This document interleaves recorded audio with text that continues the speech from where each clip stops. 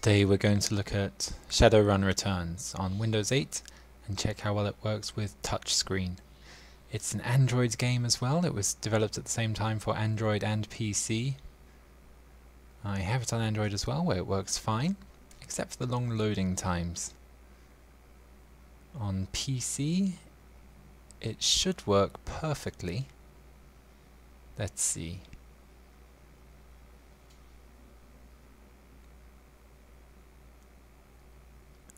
Everything in the interface is uh, easy to just touch once to make it work.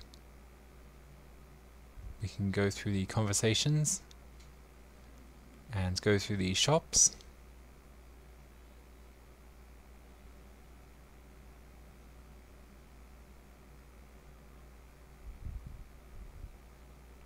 Well that's fine, let's go through our journal and character statistics. Yep, all of these pages work just as they do on Android. Great, no problems there. Okay, let's load up a combat situation.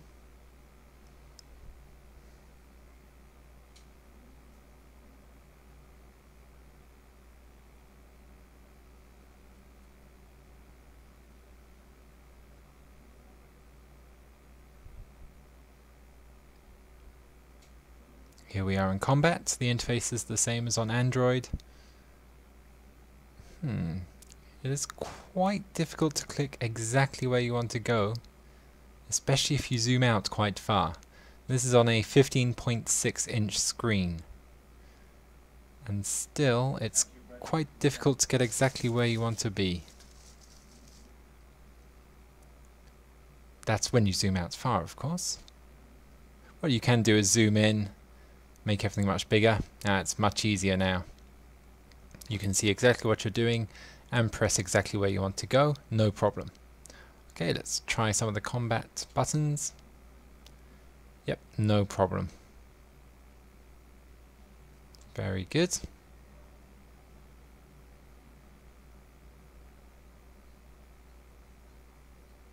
Okay, well that worked great.